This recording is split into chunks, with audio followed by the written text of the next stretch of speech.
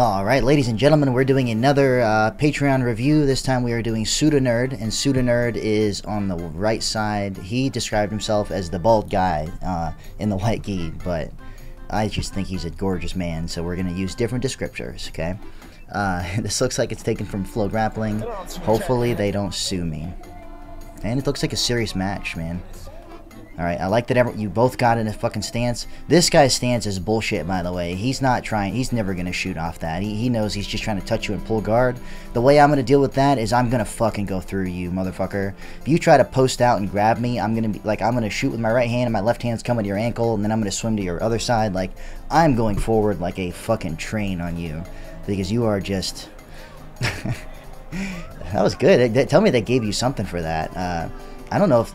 Did that guy really get a guard pull off that? That is so gay. Alright, I see how it is, but I'm glad you got your advantage. I do think that rule set is fucking stupid, though, where they give you an advantage for double guard pulls, but not if he just pulls guard. Uh, man, you gotta, you gotta go right now. He has cross sleeve on you. Um, you should be just controlling one of his other sleeves and picking him up off the ground. Staying down in this is just so sketchy, especially with, you have good hip flexibility, so you're pretty comfortable that low, but having both of these knees pinched off is not going to prevent you from getting destroyed eventually. And to point out to other people that might be watching this, something he's doing really well right here is he's he's not just sitting like this for a show. He's actually pinching his knee into his rib on both sides, and that's limiting the range of motion the other guy can do. He can't turn and get angles on him as well. Okay. The only problem is you're off balance forward and backwards a little bit. Okay.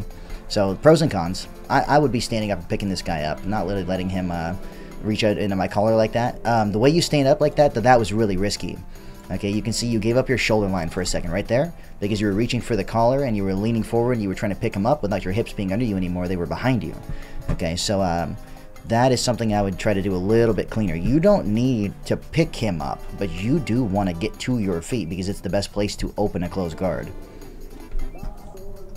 And good job kind of retrapping his uh, his hip right there. If you guys didn't notice, the only reason he didn't get armbarred is he pinched that off in time and prevented the rotation. But I definitely... Uh, oh, he's got his knee in now. Okay, yeah, no, fuck that. We're going through this motherfucker now. Good shit getting that in. Yep, finish the knee slice. Finish that knee slice. Just keep pressuring. Start kicking it off with your other leg. You're good. Stay low. Stay low. Stay down.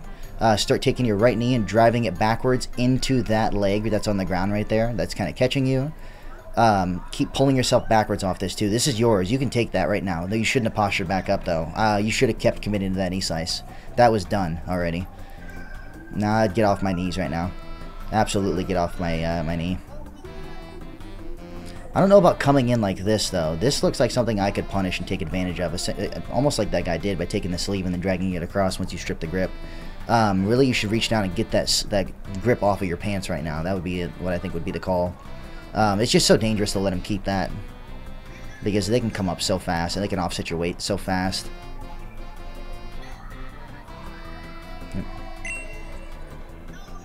Good attempt at going through for the leg drag on this side. Um, yeah, like I said, just letting him keep that, that pants grip and letting him keep that side. And now he looks like he's pulling you into 50-50 almost. We definitely don't want to be there. Can't tell if his foot's under you and on your hip or if it's just full, it's in front of you still. No, so there's no 50-50. You're still good. Um, but at the same time, you're not good because you're still... There we go. Now you have that away. Okay, right here.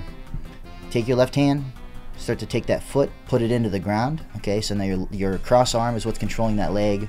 And then you can start to replace your feet. Okay, this knee can come in where this knee is right now. And then you can start looking for leg drags and back chases. Okay, that's what I would be doing in this situation. Good. It's a lot of movement. Um, you didn't move him very much there, but the movements look clean. See, my, my only problem, big critique right now is you're trying to force passes that just are not there at the those times. You know, the angles are not there, and you're trying to go through it anyways. And because you're being so complacent in letting him grab your legs and stuff, it's already prematurely shutting down most of your offense. Um, that's a good grip right there. Okay, bury down, bury down. Before he could bring his leg in, if you could have two-on-one that as an underhook, you would have got something off of that. Um, I would start to work on getting that pressure back, maybe pushing his legs off to the side, giving that some real sprawl pressure. Now, now it's unhooked, now you can play again. Now we can start thinking about coming forward. That guy has very, very good hip flexibility, but he's relying on it so much that you can absolutely kill him as soon as we get close to a real pass and buckle down. Gotta get him off that knee. So he's just reaching for it over and over again, and that's what's preventing you from coming in anywhere. Okay, hips back, hips back, hips back. This is getting sketchy. Hips back, hands fighting his hands. Get those off you. Okay, you right now, uh, you are in deep shit. I don't know about going for the Kimura. Most people that go for the Kimura end up just giving up their back or giving up a triangle. Um, maybe you didn't go for a Kimura. Did you actually just grab his leg? I couldn't see from this angle. Okay, it looks like your butterfly hook pulled the leg into you. You It looks like you had the Kimura grip, but you were uh, using that to set up the leg. So that was good job getting back to a guard, but we gave up points. Okay, so as soon as you turned away from the guy, so it's super insanely bad right here. This is awful, but I'm not, like I wouldn't give up on this position yet. Okay, so something you could be thinking about doing right now is taking this hand up and over his shoulder and hooking on the inside of his hip as you brought your hips out to the side, and then do a traditional wrestling sit out in order to, even if you don't put him down off of it, you know, a lot of times you can break whatever grip they have, stand up and reset the position and not give up the two points. But I would definitely not turn away from him right here, because if this guy had been on top of his game, um, like his right foot didn't do anything, it didn't go into a hook, he could have chased your back in that moment, and that would have been awful for you. Okay, um, that was just too loose of a single X. Okay, um, you did a good job getting into it, and everything from here is kind of okay. You know, this is getting a little sketchy. It doesn't have enough pressure. You're bringing your arm in. This hand isn't doing much except for holding this. So what I would be doing is uh, this foot I'd be taking across and kind of controlling this to prevent the back step, really wedging my foot into there, or even just going shallow hook back and forth, and then start looking for sleeve grips and start looking for collar grips. Like, okay, you're using that hand to try to rotate his knee out, which is fine. Um, the whole position is just a little bit too loose, and as soon as he starts touching your foot, you abandon the position because you think he's going to actually get the Estima lock. I'm not sure that he would have been able to get it, okay, and I think you could have brought him down and swept him anyways. But uh, you trying to get back to your feet was okay because he wasn't ready to capitalize on it. But you can see you almost did kind of get onto a body lock, which you used to get butterfly guard. So it worked out, um, just a little risky.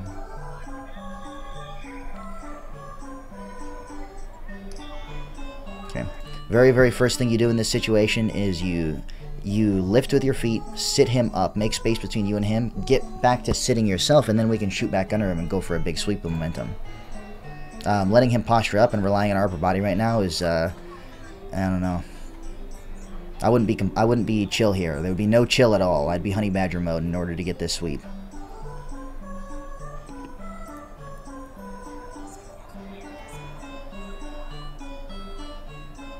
Ooh, that was good. That was a really good example of sticky butterfly hook and uh, basically punishing the other guy. When he lifted his weight up right there and you followed him with that hook, He's not backstepping out of that. He's not windshield wipering out of that. It's a free leg, and you were able to surf it down to your other grip extremely well.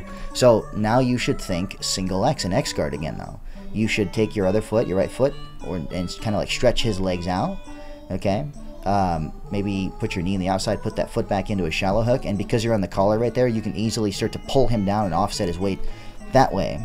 Okay, which is going to force him to post his hand on the mat okay and then you can grab that other sleeve. And the fact that he's grabbing your collar right there means you can take this grip through and grab um, this okay you, um, when I said single X really I meant X guard you should be pulling this all the way up. But then you should pinch it off and you should get control of that sleeve right there. Getting both sleeves from single X or X guard is just fantastic so let go of the collar grab his sleeve let go of the collar grab his sleeve right now you can start threatening dummy sweeps too very very easily he's giving you a lot of posture you're just thinking forward and not backwards okay that shouldn't happen. Um, you basically gave up like 16 perfect sweeps um, without realizing it. That he just would have fell over because you're just not prioritizing the right stuff. You shouldn't be reaching down for his leg right here. You should be grabbing the sleeve. This shouldn't be reliant on your grip to hold. That you should have brought all the way up to underneath your shoulder, underneath your neck here, and you should be keeping that leg in X guard with literally just your pinch pressure here, so that way this other hand can chase sleeves or get a sleeve fed to it or do something else. Occasionally you can grab it, rotate their knee line out to make your dummy sweeps easier, but that's just not playing the position correctly, and that's why he gets his foot out, okay? And you still have that pants grip, so you still are in the game. You can pull yourself back under, you could turn into him and wrestle up really well. Um, I like that you didn't let him strip that grip. Now at this point, I'm not sure that grip's helping you uh, when he was coming in that way. Uh, I think he was if he was playing a little bit better, you would have collapsed your own frame right there, and he could have started coming in over the top a little bit. I like the cross sleeve. I would probably circle my foot back in and get my left foot back into play from here. Oh, he's got it hooked. Oh, that worked out perfect.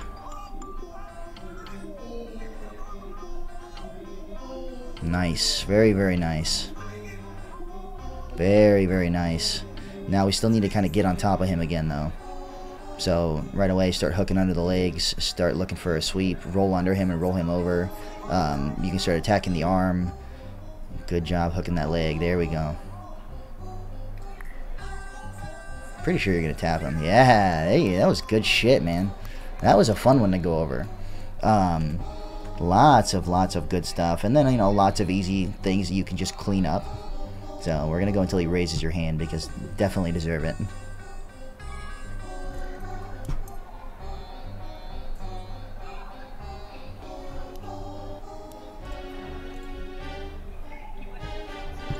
Wait, did I miss it? I'm an idiot. okay, so let's go back over uh, quick things you can fix. Um, you know, you're looking for the double guard pull. This is just a strategy. You don't always have to shoot. I'm just saying what I would do here. I know he wants to pull guard. I'm going to at least go for the two. I'm going to be, um, if he jumps at me, I'm going to back up, level change even lower than him, and I'm shooting forward. Because if I can even touch your legs or touch your pants, you're fucked. He's not in a position to sprawl right now. He's in a position to pretend he wants to shoot because he wants to jump at you and just get that contact for a really super fucking silly guard pull based on just abusing the rules. Um, in close guard, I really think you should have been prioritizing getting to your feet, but getting to your feet in a safer way. You're reliant on your grips on the guy, that's why you're leaning forward. If I get my hips up, I push myself off and get my hands away. I really don't want to be leaning over top of someone because you can't control their hips anymore and you can't control your own shoulder line very well anymore, so it gives them a lot of rotation. Um, I think it ended up worked out. Yeah, you did. You got that knee back in. This knee slice would have been the end of the match if you'd have been able to just double down on it. I know he's got his hand in there, but you don't need to have a perfect underhook to finish an knee slice. You could have took this, jammed your elbow into his body, reached back, and actually grabbed his belt. Okay, um, there's just a lot we could have been done doing, and it looks like you could have very easily cleared this other side. Even if he's holding onto your pants on the other side, that doesn't matter. It can just be a little annoying, but I'm still gonna start kicking his legs off at this point. This knee shield is doing nothing. His legs aren't even closed. There is nothing really stopping you from going all the way through, except for not really understanding the knee slice mechanics appropriately. Doubling down on this right here from this position would have been great. Um, and where your arm is is actually pretty good, I would say, for a really, really good squeeze under his back. But then you just should not have postured back up. There was no need.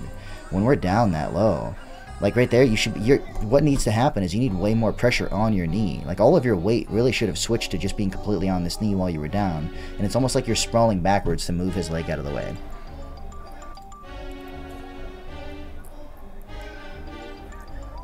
Again, um, it looked like you were a little too focused on coming in for slow pressure passes when they're not there.